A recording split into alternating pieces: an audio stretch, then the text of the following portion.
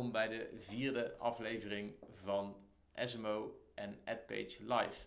Ik heb vandaag een speciale gast uitgenodigd, Juri Meuleman. Welkom. Ehm, we gaan het vandaag hebben over profielverrijking. Um, misschien zou, voordat we daarover gaan beginnen, zou je jezelf misschien even kunnen voorstellen. Yes, uh, uiteraard. Uh, mijn naam is, uh, is Meuleman, eigenaar bij Mailblue en Mailbrew. Want daar, daar gaan we voor zitten vandaag. Um, wat we doen vanuit Mailblue, Mailblue is een e-mail marketing software en, en, wij helpen ondernemers eigenlijk met het versturen van relevante e-mails. dus we zorgen ervoor dat je vanuit je e-mail marketing wel daadwerkelijk omzet en, en conversie kunt, kunt gaan behalen.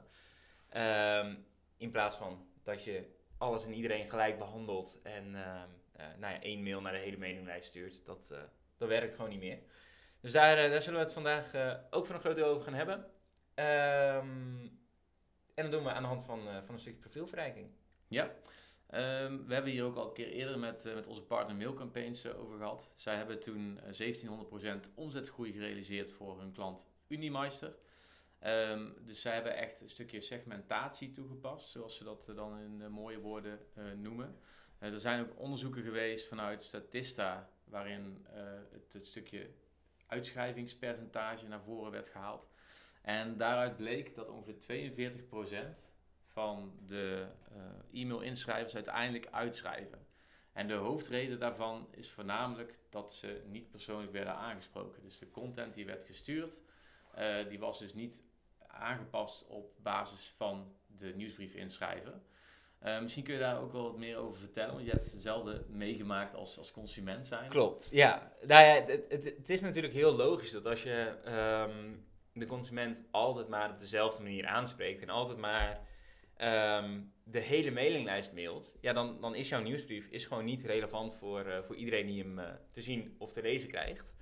Um, ja, we hadden net, uh, net al heel even over wat, wat voorbeelden hebben we natuurlijk gehad. Um, nou, ik heb letterlijk vorige week kwam er een, een, collega van mij naar me toe met dat de oortjes niet meer in de, of dat ze geen oortjes meer had voor de, voor de MacBook. En ik zei, nou, dan, dan bestel ik wel even nieuwe oortjes. Nou, zo gezegd, zo gedaan. Nieuwe oortjes besteld. En um, nou ja, we gaan dat over twee dagen met Black Friday ongetwijfeld nog veel vaker krijgen. Maar ik kreeg, ik kreeg afgelopen maandag volgens mij al van, van AMEC een, een, mailtje met... Hey, maar die oortjes die zijn nu in de aanbieding. terwijl ik ze volgens mij donderdag of vrijdag heb besteld. Dus nou, ik, ik, toen ik die mail kreeg, toen dacht ik van ja, heel leuk die, die aanbieding. Maar ergens voel ik me wel een beetje genept. Want ja, ik had hem ook een paar euro goedkoper kunnen krijgen. En dat is natuurlijk wat je kost wat kost wil, wil voorkomen op het moment dat je je eigen doelgroep gaat, gaat mailen. Want het is heel makkelijk om te zeggen van nee, maar mensen die dit product al hebben gekocht, die gaan we die aanbieding niet nog een keer sturen. Het zorgt er niet alleen voor dat, die, dat de mailing meer relevanter gaat worden. Het zorgt er ook nog eens voor dat je een ander aanbod kunt doen. Want wat je wel weet is dat ik wil de Apple oortjes bestellen. Um, dat ik een Apple gebruiker ben. Dus je kan me wel vervolgens een aanbod sturen met oplaadkabels of met, um, met je keyboards die, die Apple gebruikt. Want dat is ook relevant voor mij als Apple-gebruiker. Alleen daarmee heb ik niet dat ik net dat nare gevoel eraan overhoud dat ik te veel heb betaald, omdat ik hem drie dagen te vroeg heb besteld. En dat is zeker met, met Black Friday denk ik een hele mooie om, om wel toe te passen. Ja. Ik zal, om, om daarop in te haken, meteen even een, een voorbeeld laten zien van profielverrijking. Ehm, met, met onze software tool AdPage heeft Mailcampaigns, een andere partner van ons, een profielverrijking gemaakt voor superfietsen.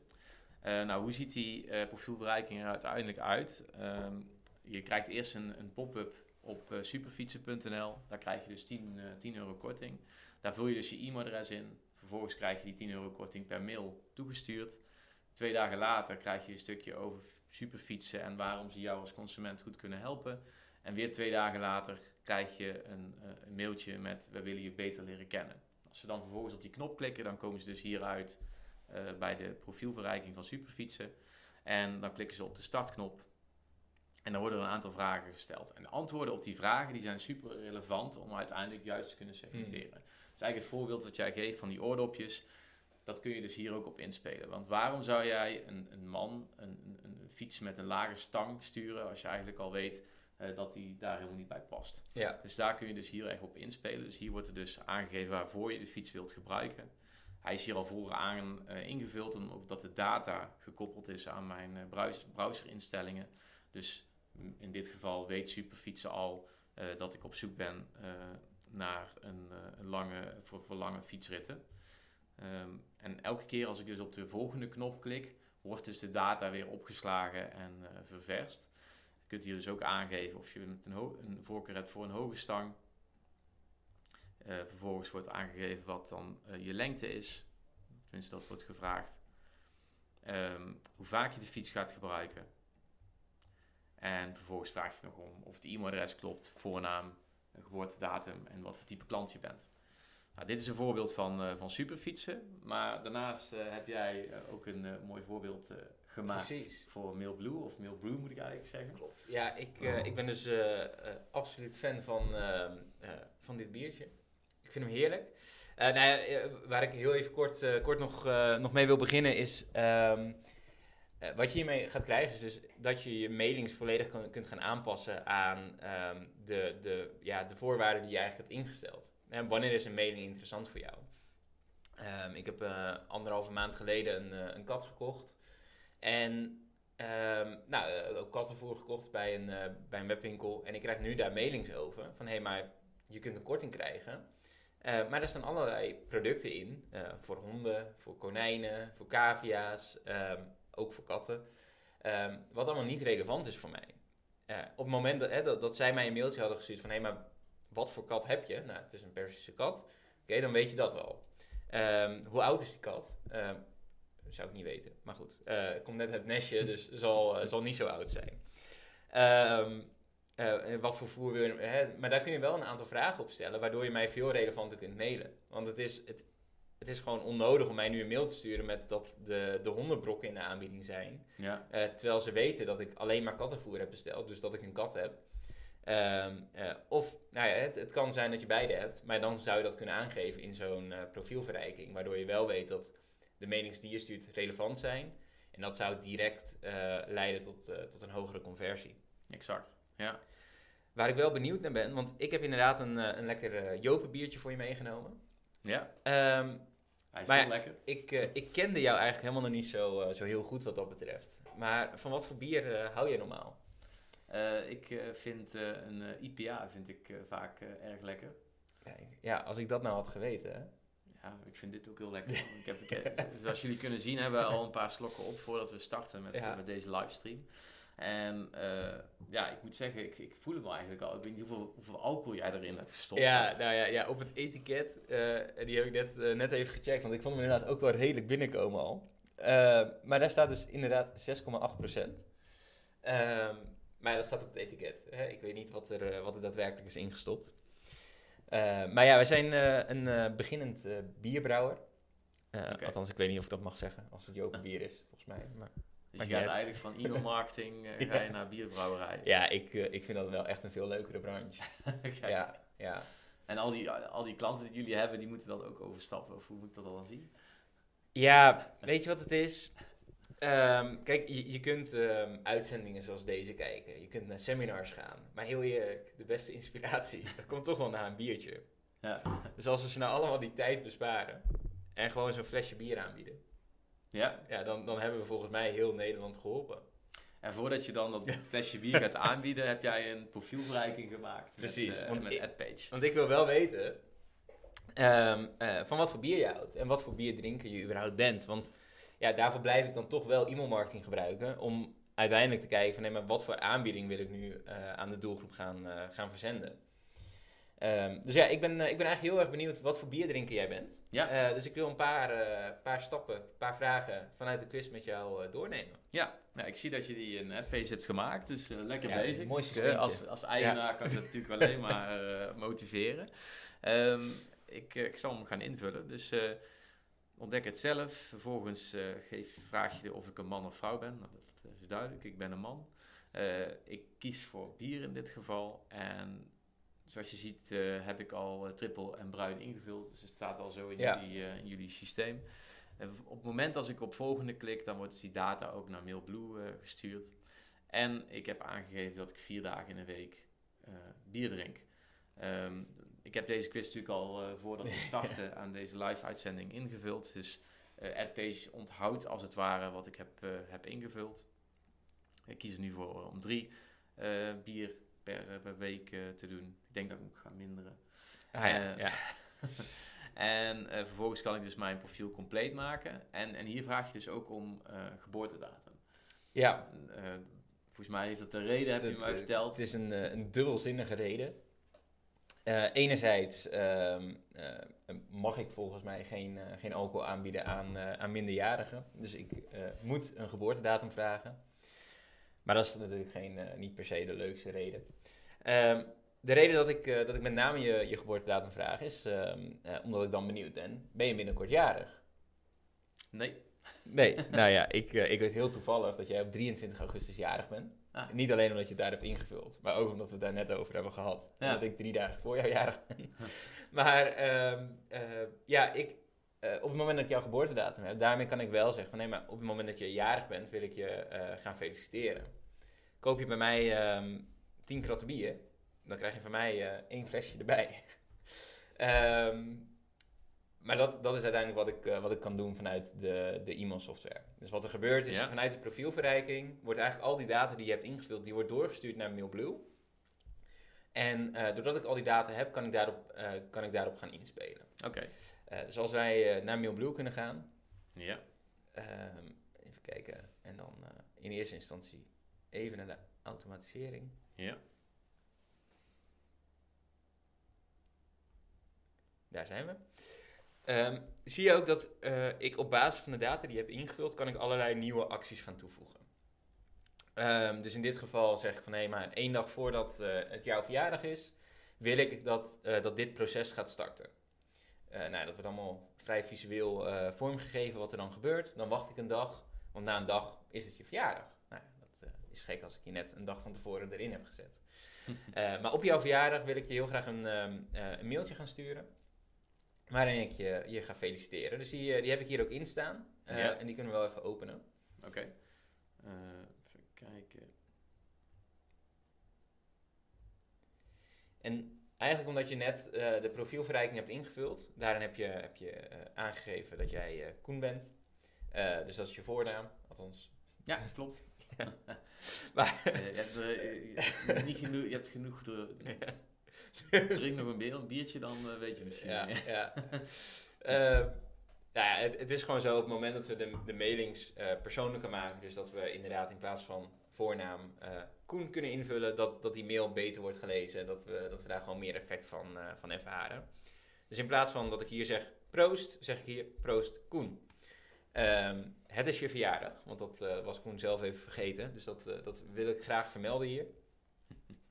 Ehm, maar al die data kunnen we dus verwerken. Dus uh, als iemand hier een andere voornaam of een andere uh, bierwens heeft ingevuld, dan kunnen, we, eh, dan kunnen we die hier ook tonen. Ja, je kunt hier zelfs aangeven um, de voorwaarden van Klopt. de afbeelding. Dus als het favoriete bier bevat pils of bijvoorbeeld IPA, dan kan, kan je als het ware de afbeelding aanpassen. Ja, dus ik kan, ik kan jou inderdaad een, een afbeelding laten zien van een IPA'tje. Um, terwijl ik iemand die, die van pils houdt, die laat ik inderdaad een, uh, een gezellig uh, amsteltje zien. Um, en maar op die manier kan ik dus inderdaad de, de afbeelding wijzigen. Um, maar dat kan ik ook doen met de tekst. Dus ik kan ook zeggen van, hé, maar jij bent uh, liefhebber van een IPA'tje. Ik heb echt te veel onderzoek gedaan naar de, naar de bierbranche de afgelopen week voor, voor deze uitzending. Maar uh, daar, ben je, daar ben je fan van. Oké, maar dan kan ik je dus nu vertellen waar, waar het vandaan komt, wat, wat de smaak van een IPA'tje maakt en, waar het allemaal aan moet voldoen. Dus dat kan ik allemaal meenemen in die mailings, omdat jij zojuist hebt aangegeven dat je, daar, dat, je dat lekker vindt, dat je daarvan houdt. Okay. En sterker nog, ik kan hem ook in de link meegeven. Ja. Dus stel, ik ben, ik ben bierwinkel.nl. Ehm, geen idee of die webwinkel bestaat, maar goed. Stel dat die bestaat dan kan ik zeggen, ik wil, um, uh, ik wil die link wil ik ook gaan personaliseren, gebaseerd op jouw lievelingsbier. Ja. Dus stel jij vult een eh, IPA'tje in, dan zou ik kunnen zeggen um, dat die link moet gaan naar bierwinkel.nl slash IPA. Eh, omdat je dat net hebt aangeklikt. Nou, Ja. op die manier kun je dus de, de Dus link dan zorg je eigenlijk dat je in, in minder stappen direct bij, naar, eh, naar de komt. pagina. Ja, waar je, waar, waar, waar, je eigenlijk hebt aangegeven, hè, in, in mijn geval is het IPA, ga ik dus meteen naar de IPA-pagina. Dus Ja. dat is alleen maar IPA-biertjes. Oké, top. En eh, ik zie ook dat je dit in eh, die profielverrijking, die heb je in AdPage gemaakt. Ik, ik wil even voor de, voor de kijkers laten zien hoe je dat gedaan hebt. ik ben heel benieuwd of ik het goed heb gedaan. Ja, ik, ehm, ik ga heel even inloggen, want ik zie dat die inmiddels is, is uitgelogd. Eh, even kijken of ik hier zo in kan.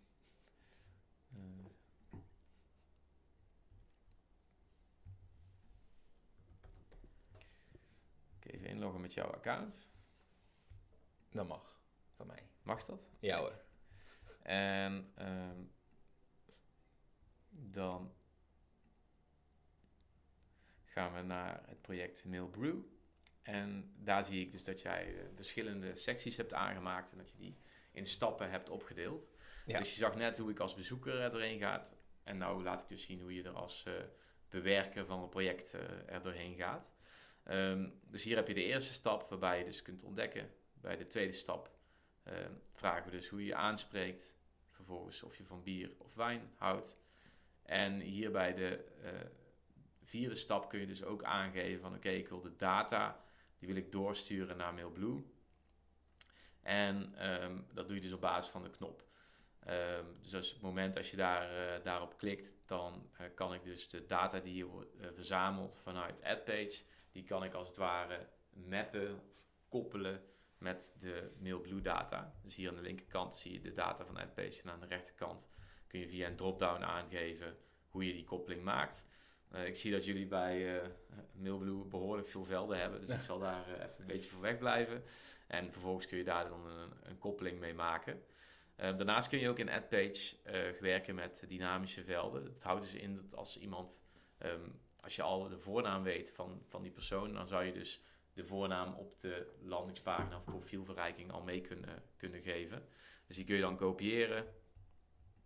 En dan zou je bijvoorbeeld kunnen zeggen, oké, eh, in dit geval staat er dan eh, first name achter. Ehm, en dan komt er te staan Koen. Eh, maak even wit, hij ook wat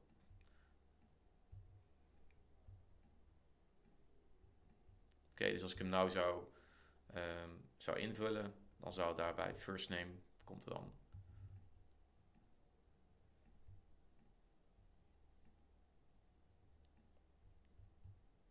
Even opnieuw. Ik heb hem volgens mij niet. eh, oh, hebt ik heb hem niet ingevuld. Je hebt hem hier natuurlijk nog niet ingevuld, want Ja. die eh, komt pas bij de, bij de volgende stap. Ja. Maar daar zou dan Koen komen, komen te staan. Ehm, en uiteindelijk, als je dan helemaal tevreden bent over je profielverrijking, ehm, dan ga je hem publiceren.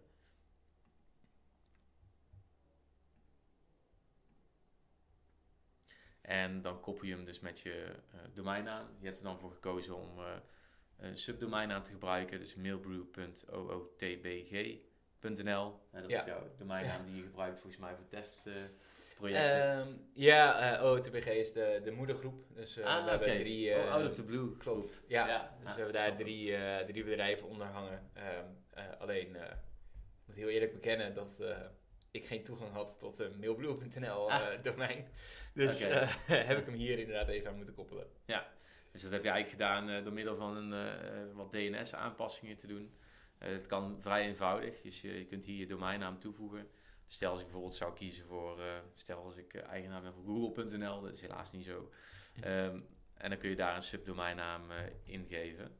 Het, het voordeel hiervan is, je kunt ervoor kiezen om het zelf te doen, maar je zou hem ook kunnen doorsturen naar je webhost, zodat hij of zij die, die koppeling kan maken.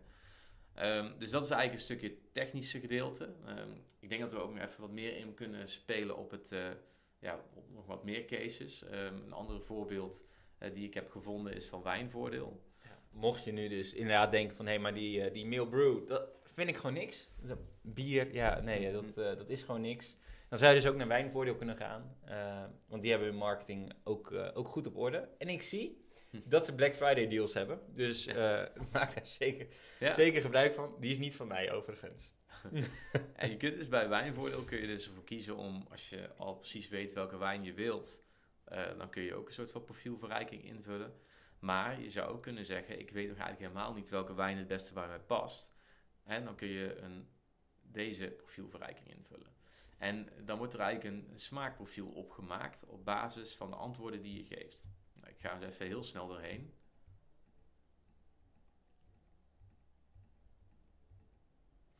Er wordt een smaakprofiel gegenereerd en vervolgens krijg ik te zien welke wijn het beste bij mij past. En die kan ik dan ook meteen toevoegen aan mijn winkelwagentje en dan kan ik die ook meteen afrekenen. Nou, als ik dan uh, hier aan de linkerkant kijk, dan kan ik zelfs ook het profiel naar mezelf mailen, waardoor Wijnvoordeel dan ook meteen een e-mailadres heeft. Superleuke manier om ja. laagdrempelig een e-mailadres te krijgen. En als je dan naar beneden scrolt, dan zie je dus ook nog andere wijnen die gekoppeld zijn aan je smaakprofiel. Um, ook als je kijkt, uh, hè, als je naar het verschil bekijkt tussen het, de statische menu-items die je hier ziet bij Wijnvoordeel, ten opzichte van het creëren van een wijnprofiel, waarbij je dus echt bezig bent met de behoeften van de bezoeker, hè, dan zie je echt wel een mega verschil in van hoe kun je nou zo'n klant het beste helpen. Dat zie je ook terug in onderzoeken. Heel veel consumenten geven ook aan dat ze het liefst persoonlijk geholpen willen worden, een persoonlijke ervaring hebben op een webshop. Mm. En uh, Wijnvoordeel die speelt daar perfect op in. Ik ben heel erg benieuwd of jij als, stel je hebt een eigen webshop, of je als webshop-eigenaar uh, daarop ook op, uh, op hebt getest of op hebt ingespeeld. Want dat is een, echt een enorme kans. Je, je, consumenten die vragen er letterlijk om. En dus als je daarop uh, op inspeelt, ben ik heel erg benieuwd of je daar ook meer conversie uithaalt. Ik ben er namelijk in ieder geval van overtuigd. Ja, nou, en, en het is natuurlijk heel leuk hoe, uh, hoe Wijnvoordeel dit doet. Uh, eerder lieten we de, het voorbeeld zien van, uh, van Superfietsen.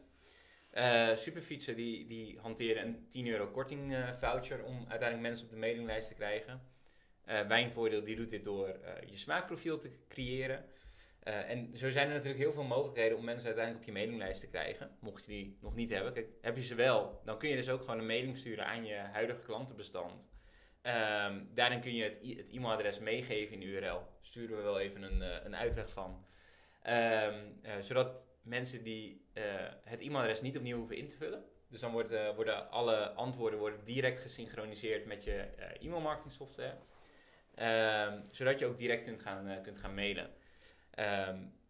Heb je die e-mailadressen nog niet, dan doe je er inderdaad goed aan om op je webshop bijvoorbeeld, zoals Superfietsen, 10 euro korting te geven. Uh, Wijnvoordeel die doet het uh, superleuk met een, een smaakprofiel creëren. Kost je dus ook niks. je moet hem alleen een keer bouwen. Um, maar je kunt ook werken met een, met een weggever, um, een e-book, een whitepaper, verzin het maar.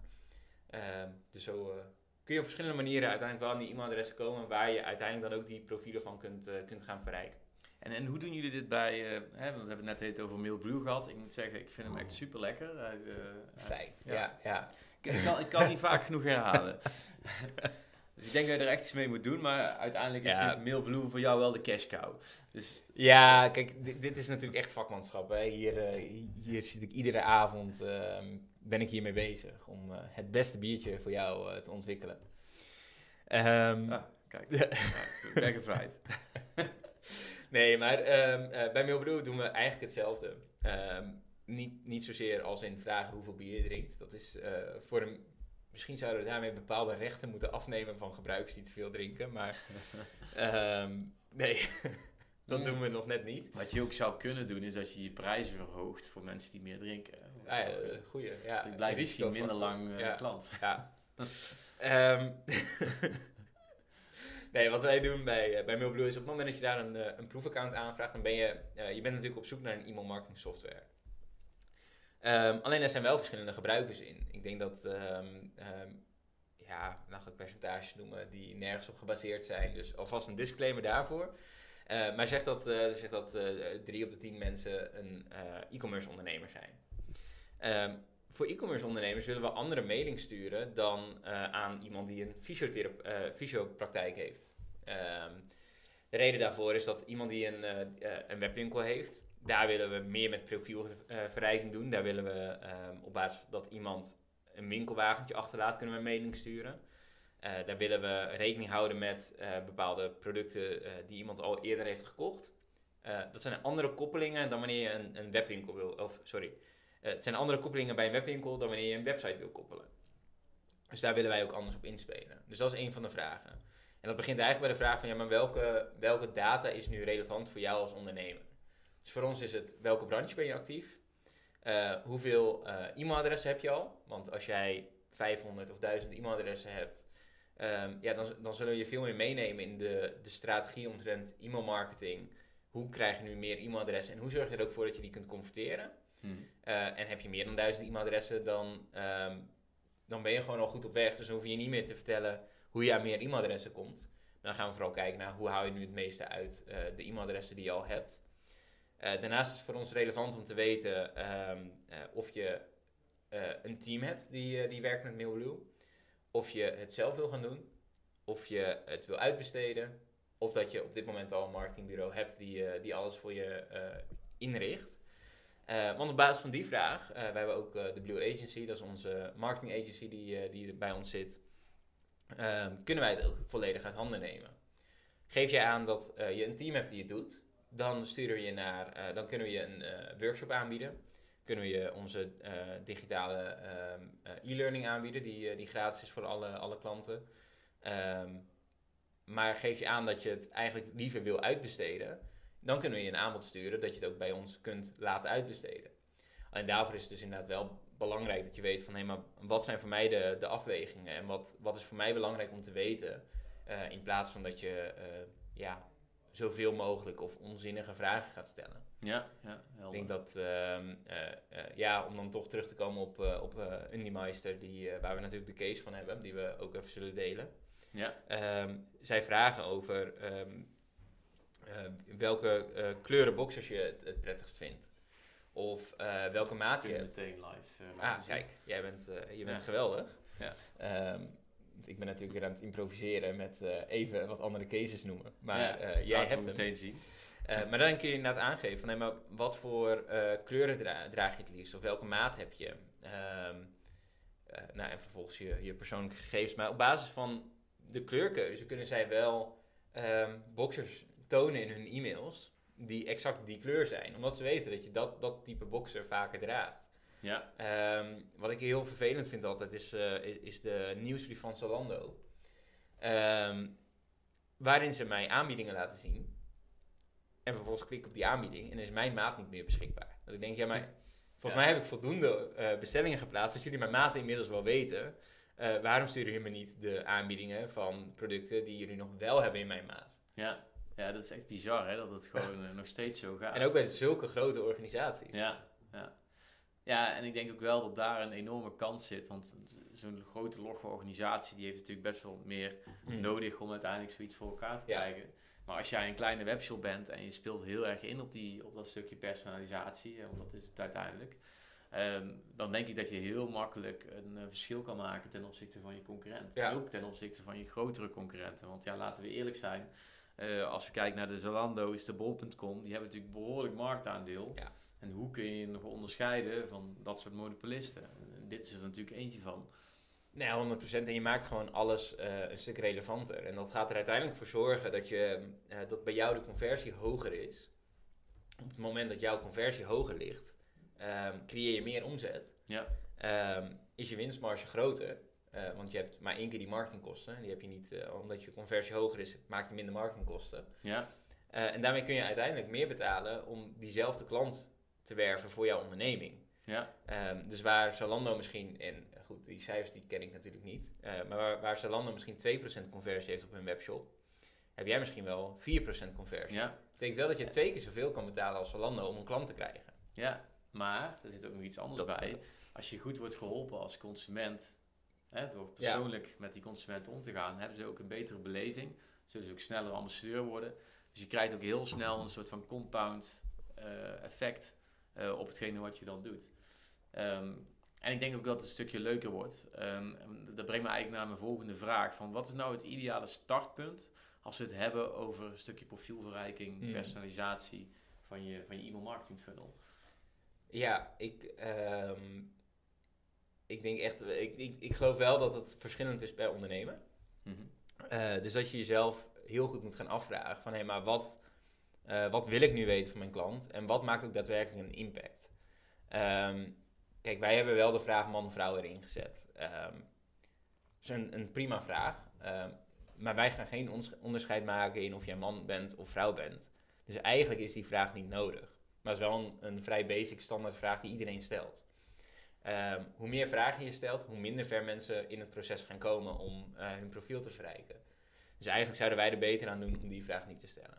Ja, oké. Eh, in zijn algemeenheid. Hè. Het kan verschillende redenen hebben om het wel te doen. Ja, bij bijvoorbeeld een webshop die vrij breed is, dan is het natuurlijk wel... eh, Ja, heb je een kledingwebshop bijvoorbeeld of een- Ja. een kledingwinkel, dan is het super relevant. Ja. Maar daarbij gaat het dus inderdaad wel om van, hé, maar wat zijn de keuzes die een klant maakt om uiteindelijk met jou te gaan werken?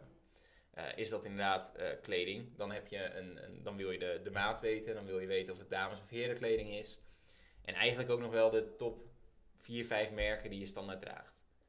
Ehm, want dan, dan kun je hele relevante e-mails gaan sturen. Ja, ja precies. Oké, ja, ik- zoals ik net ook al zei, eh Unimeister die heeft eh 1700% omzetgroei gerealiseerd. Eigenlijk door een stukje personalisatie en segmentatie toe te passen door middel van profielbereiking. Het zijn allemaal best wel eh, termen die eh, om de oren wordt, eh, wordt gesmeten. maar uiteindelijk denk ik wel dat we het hier hebben over hele simpele dingen.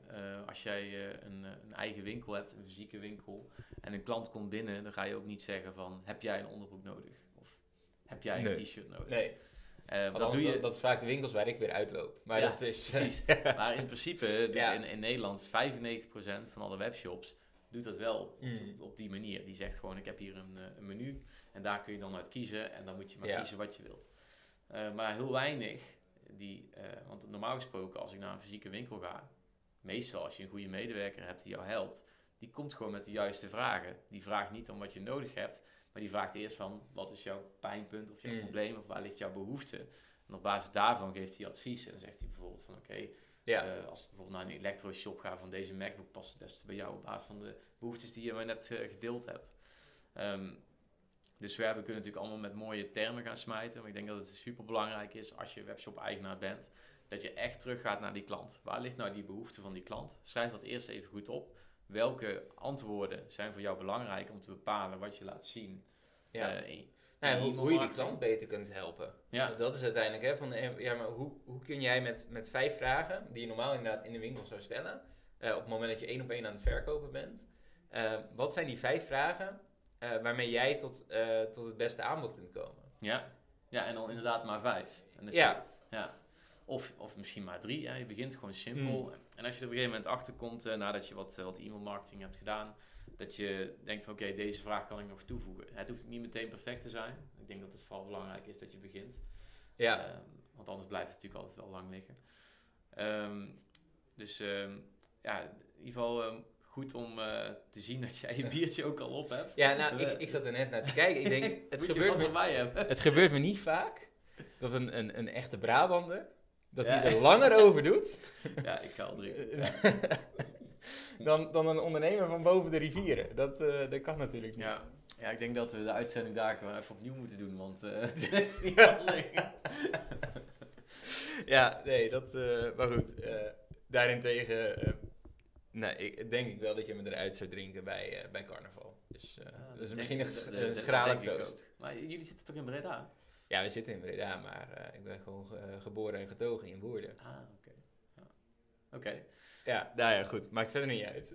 Ja, maar ik zie dat we inmiddels ook al eh, op onze tijd zitten van een, eh, van een half uur. Eh, we Kijk. hebben bij, eh, bij eh, AdPage Live hebben we altijd eh, korte sessies van een half uur. En eh, ook om het lekker, eh, om, om, snel te kunnen, te kunnen Ja. schakelen. We hebben in het verleden altijd, eh, eh, ja, ooit van eh, challenges gedaan van 2,5 uur. Ja, in deze tijd eh, zijn de aandachtspannen van, van mensen veel te, veel te laag of veel te hoog. Ik weet niet of ik het goed zeg.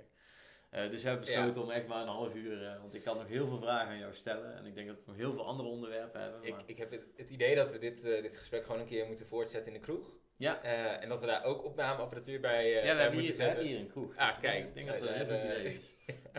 Ehm, nee, het, eh, 100% waar. Ik denk dat, eh, dat we er super goed aan doen om, eh, om wel de case van, eh van IndieMeister nog, eh, nog te delen. Ja. Ehm, er wordt ook veel praktischer nog eh, hoe je het voor jezelf kunt, eh, kunt instellen. Ja. Ehm, en vanuit daar eh, eh, kun je als ondernemer in ieder geval direct aan de slag.